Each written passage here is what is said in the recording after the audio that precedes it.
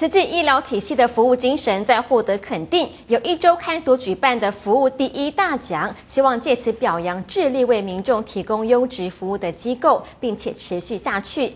有了专业，还要有以人为本的服务。因此，一周刊透过了一零四市调中心，经过民众的票选，慈济医疗体系获得医疗院所类别第二名。